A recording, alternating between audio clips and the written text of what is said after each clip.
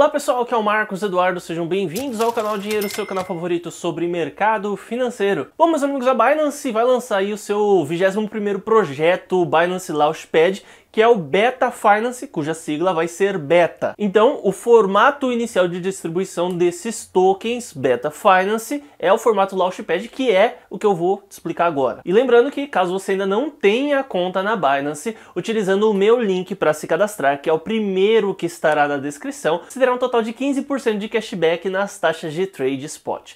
Mas vamos lá. Primeiro, para ver esse Launchpad, vamos no menu em forma de quadrados na parte superior esquerda, em seguida em Launchpad. E como vai funcionar esse lançamento? A Binance realizou o registro do saldo em BNB dos seus usuários durante oito dias, ou seja, do dia 29 do 9 até 7 do 10, e com isso ela vai fazer uma média do seu saldo. E a ideia disso é que justamente esse valor é o que você possa comprometer em BNB para obter esse token que vai ser lançado.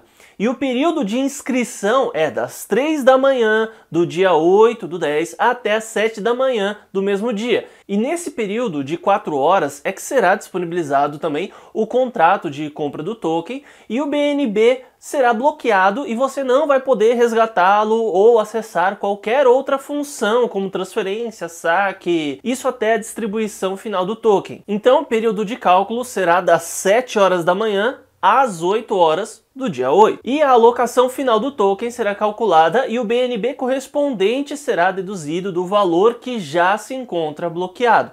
Após a dedução, os seus tokens beta e BNB serão transferidos para sua carteira spot.